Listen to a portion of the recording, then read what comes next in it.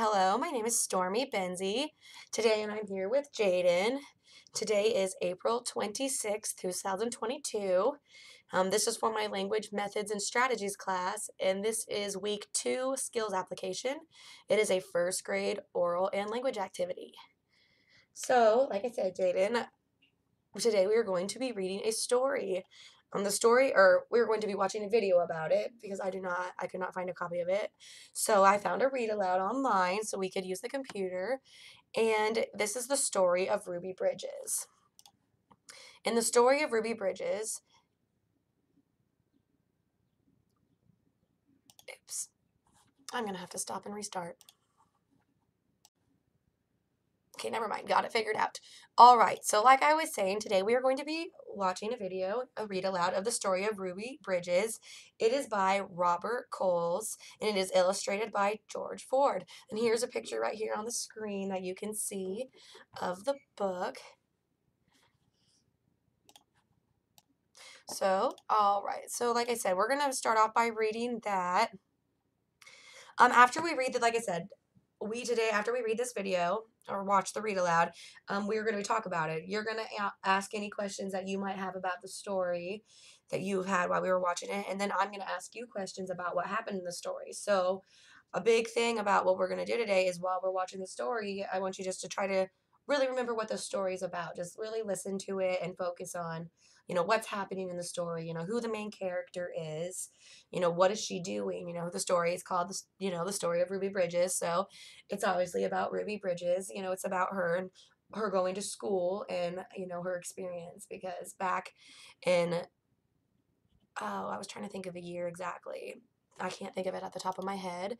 Um, but back, you know, there used to be only they had schools separated girls that were little boys and girls who were white and little boys and girls who were black went to different schools because that's I don't know if you how much you've learned about slavery and stuff in school yet, but unfortunately that was how it used to be in the day. And this is a story of a little girl named Ruby Bridges. So she was one of the first black little girls to go to an all white school. And so this story is about that and how people reacted and how it made her feel. So we're gonna start off by watching that. And then, like I said, if you have any questions, just say something and I can pause the video and we can talk about it if anything specific in the story happens because that's the main point of this is we want to we want to talk about it. Like I said I want you to ask questions. I'm going to ask you questions. We just we're going to talk and see what we can find out. All right so make sure the volume's up. I'm Miss S. Today we are going to read the story of Ruby Bridges written by Robert Coles and illustrated by George Ford. This book was suggested by Miss St. Facil's third grade class. Thank you. Ruby Bridges was born in a small cabin near Tylertown, Mississippi. We were very poor. Very, very poor, Ruby said. My daddy worked picking crops. We just barely got by. There were times when we didn't have much to eat. The people who owned the land were bringing in machines to pick the crops. So my daddy lost his job. And that's when we had to move. I remember us leaving. I was four, I think. In 1957, the family moved to New Orleans. Ruby's father became a janitor. Her mother took care of the children during the day. After they were tucked in bed, Ruby's mother went to work scrubbing the floors in a bank. Every Sunday, the family went to church. We wanted our children to be near God's Spirit, Ruby's mother said. We wanted them to start feeling close to Him from the very start. At that time, black children and white children went to separate schools in New Orleans the black children were not able to receive the same education as the white children. It wasn't fair, and it was against the nation's law. In 1960, a judge ordered four black girls to go to two white elementary schools. Three of the girls were sent to McDonough 19. Six year old Ruby Bridges was sent to first grade in the William Frantz Elementary School. Ruby's parents were proud that their daughter had been chosen to take part in an important event in American history. They went to church. We sat there and prayed to God, Ruby's mother said, that we'd all be strong and we'd have courage and we'd get through any trouble. And Ruby would be a good girl and she'd hold her head up high and be a credit to her own people and a credit to all the American people. We prayed long and we prayed hard. On Ruby's first day, a large crowd of angry white people gathered outside the Frantz elementary school. The people carried signs that said they didn't want black children in a white school. People called Ruby names. Some wanted to hurt her. The city and state police did not help Ruby. The President of the United States ordered federal marshals to walk with Ruby into the school building. The marshals carried guns.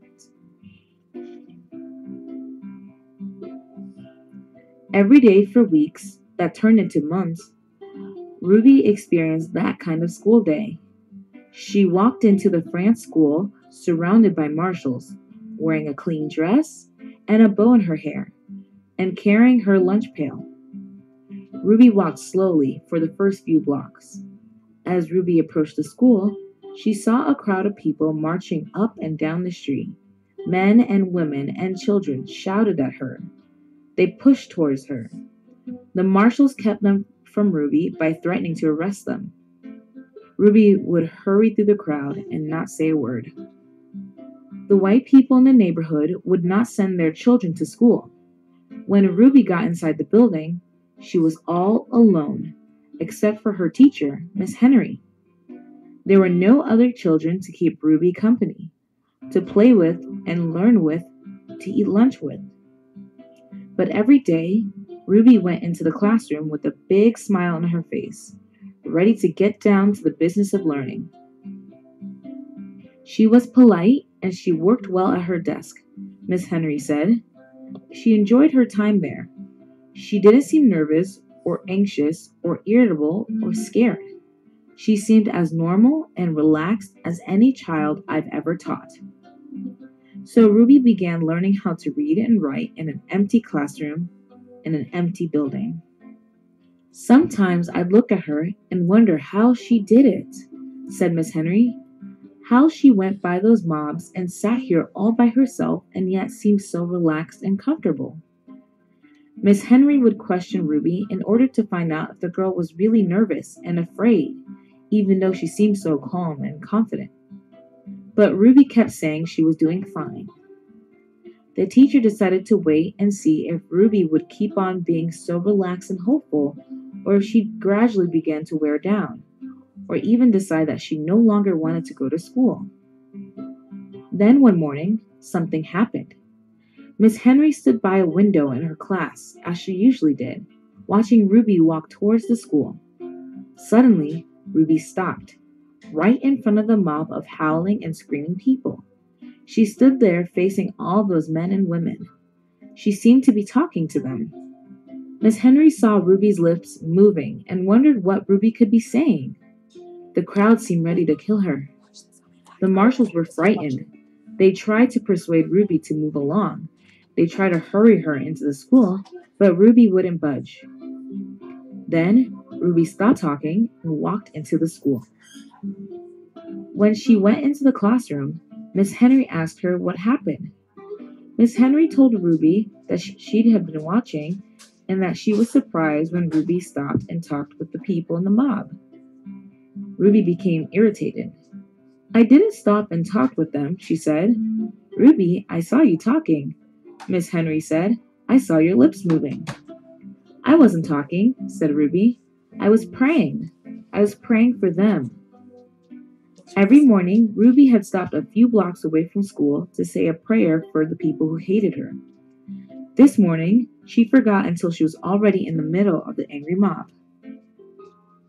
When school was over for the day, Ruby hurried through the mob as usual. After she walked a few blocks and the crowd was behind, Ruby said the prayer she repeated twice a day, before and after school. Please, God, try to forgive those people. because even if they say those bad things, they don't know what they're doing. So you could forgive them, just like you did those folks a long time ago when they said terrible things about you. By the time Ruby was in second grade, the mobs have given up their struggle to scare Ruby and defeat the federal judge's order that New Orleans schools be desegregated so that children of all races might be in the same classroom. Year after year, Ruby went to the Frantz school. She graduated from it, then went on to graduate from high school. The end. I hope you enjoyed. All right. So there is the story of Ruby Bridges. Like I said, she was a little girl who in New Orleans lived in New Orleans and at the time it was against the law for black kids and white kids to go to the same school. And so they changed the law and she got to go to the white children's school. After reading that, or reading that, I keep saying the wrong thing. After watching that, I say we could, if you need to, we can watch it, some parts of it again. But do you have any questions or about what happened at any point? Say, I was like, like I said, the part of this is us talking about the story now. It's like that's what we we got to do. So, what you know, I guess what we could talk about what happened. What do you? What was the big things that you would have? Not any questions you have, but how would you if if I didn't watch this video with you and I asked you what was the story about? What would you tell me? I was like, we watched it. If we have to, we can watch it again. Ruby Bridges. Oh yeah, yeah, of course, Ruby Bridges. And what? So what happened to Ruby? What did she do? What? She went to white children's school. Mm-hmm. Yeah. Do you? Okay. Awesome. So yeah. So, do you remember why I said white and black children went to different schools, or why the book said? No, because back in the day back when this happened and she said it was 1950 something it was against the law it wasn't allowed. If black children and white children went to the same school the black children would get in trouble and their parents might even go to jail. It's just back in the you know back in the 50s and before that everything was segregated white people and black people had their own bathrooms they had their own water fountains. They had you know if you if we all wanted to go you know their own churches their own schools if we all decided we wanted to go to the same thing there'd be separate seating. White people would sit over here and black people would sit over there. Luckily a lot has changed in you know the last 50 years or so and that is not how it is anymore. We a lot of laws have been passed and it is actually now the opposite. It is illegal to segregate people like that because it's not right. No one should ever be ba- judged based on the color of their skin because we're all the same. We all bleed the same. We all look like on the inside every single one of us looks the same. So all right so then there was that um so do you remember like i said like you or like you said that she went to all white school? Do you remember what the adults, what the white adults did, what happened when she went to that white school. I was like, she went on a walk to school every day, but what happened? What did the what did everyone do? All the white adults.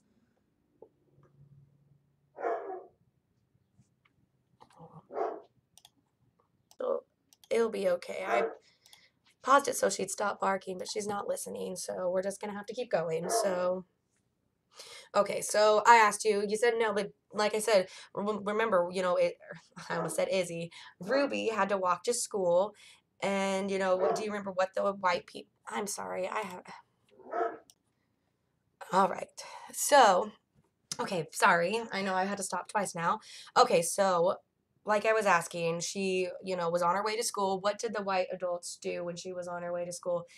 You know, they weren't they didn't do nothing, you know. In the book, they were doing something when she walked into the school. Do you remember what they were doing? Were they were they all there to be nice and greet her and say welcome, or was it something else? Something else. You know what? What what were they doing? Were they being nice and happy that she was there? If we think about it, because I can flip to the pictures like it said. If I go here, you know, it shows right here, it says, you know, it shows them holding up signs that say "Why only. If we go to the words, it says that they were calling her names and some even wanted to hurt her.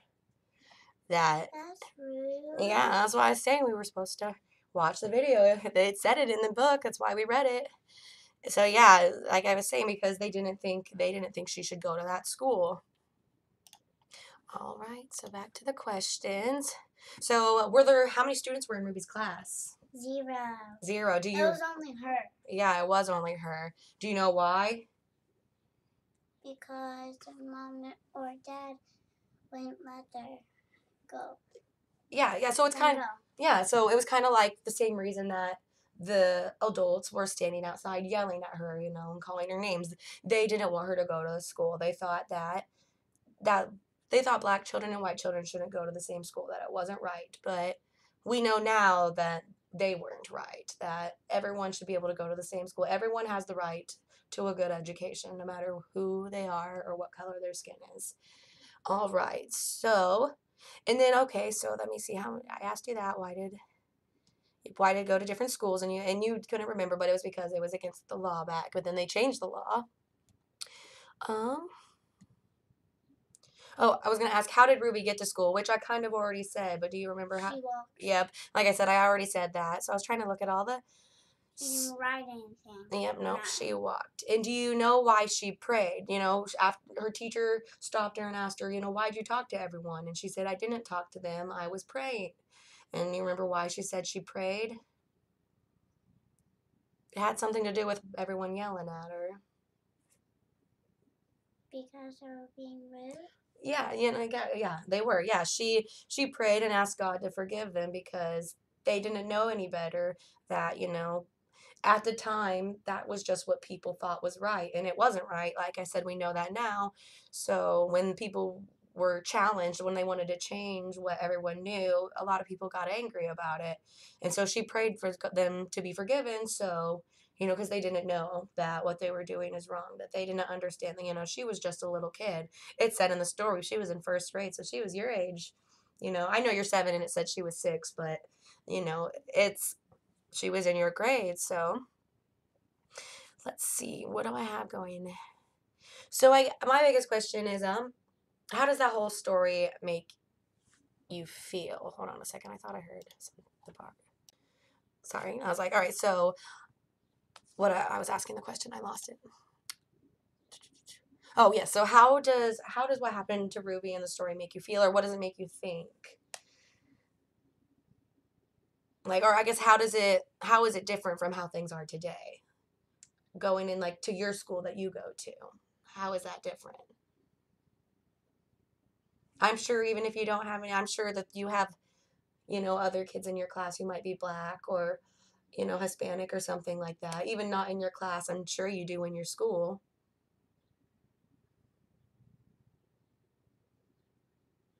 Is that true?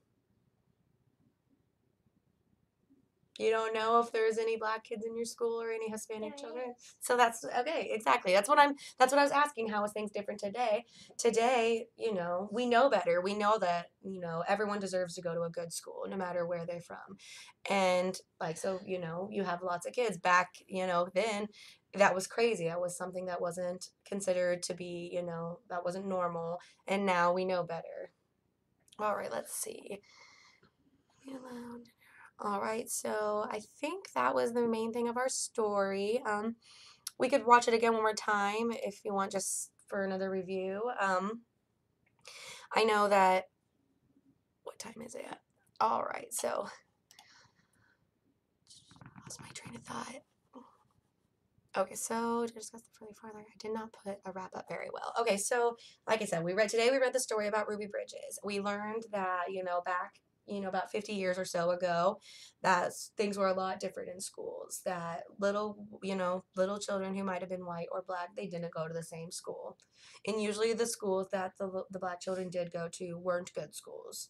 They were poor they didn't the schools were falling apart they didn't have the books that they needed they didn't have good teachers you know just because they didn't have all the resources that they need because just the way the laws were in place back then just made it really hard and things have really been fixed today and it's not perfect we i'm not going to sit back and say that everything's perfect today but we definitely have came a long way from how it was in that story so i hope you were able to learn a little bit something today and I wouldn't be surprised if you encounter this book again in the future. I definitely did when I was in school.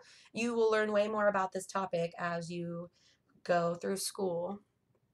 The slavery and the segregation of people who were white and black is a big deal in history, and we're still solving it today. So let's say goodbye to our teacher, and I hope we had a good day. Bye.